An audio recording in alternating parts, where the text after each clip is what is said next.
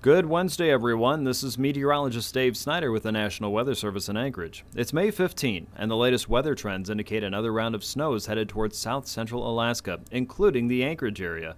This would begin as early as late Thursday night for the surrounding higher terrain. It also follows just days after the interior set record lows. Now there's a new round of cold air coming. This is tonight's weather map, showing the cold air hanging over the Chukchi Sea and heading southeast. And here's tomorrow, Thursday, showing the rain and snow approaching south central Alaska, along with wind Thursday night, leading up to a higher snow potential Friday and into Saturday. While we're accustomed to the snow, it's unusual to have a significant snow this late in the season. The second half of May has never seen more than two tenths of an inch of snow accumulation in Anchorage.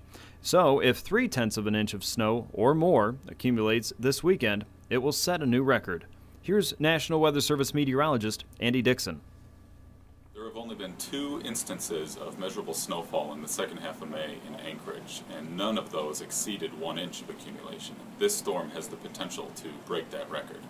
Similarly, if there is any measurable snowfall at all this weekend in Anchorage, it will mean the snow season of 2012-2013 is the longest since records have been kept. So if it snows Thursday, we'll tie the record for the longest snow season at 230 days. If it snows Friday, we'll set a new record at 231 days. Saturday would make the record 232 days.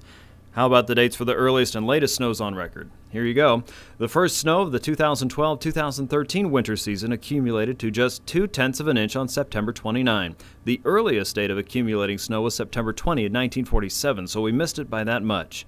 On top of the annoyance and aggravation of snow falling as southern Alaskans are ready for summer, cold temperatures will also start the weekend. Expect lows in the 20s and highs in the 30s. Sunday afternoon and Monday should be milder but still below average. If it snows, and it's measurable, has to be at least a tenth of an inch, will set the long snow season record. For now, though, the record of the latest snowfall in Anchorage, set way back on May 22, 1964, is in no danger of being broken. Those heading outdoors Thursday night, Friday, and into the weekend should be prepared for late winter conditions, including cold wind and snow. Drivers, too. This information should be considered for informational and planning purposes only.